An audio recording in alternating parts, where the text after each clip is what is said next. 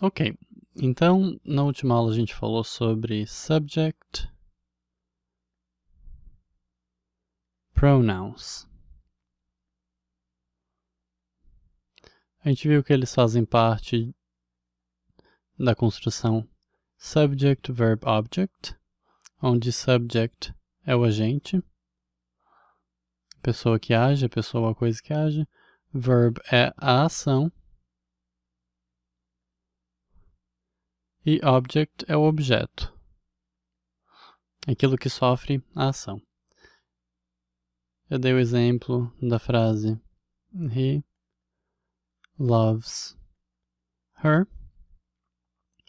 O he é quem faz ação, ação é love, amar, e quem sofre ação é ela, her.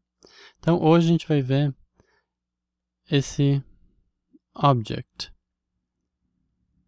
O que é? Ok?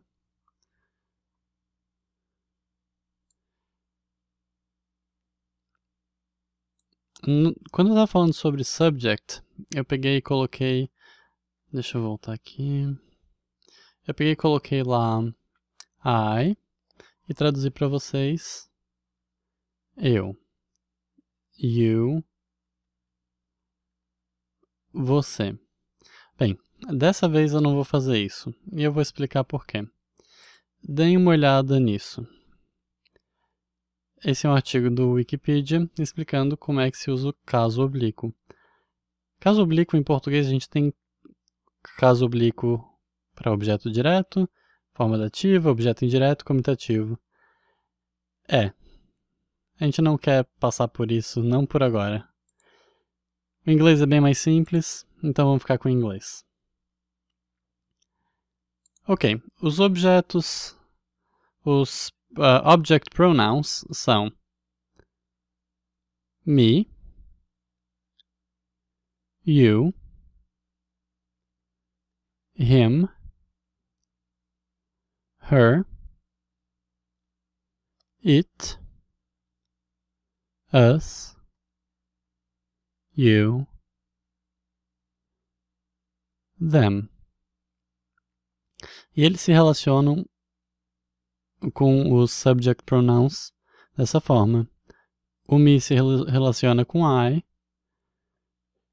you com you, him com he, her com she, it com it, us com we, you com you e them com they.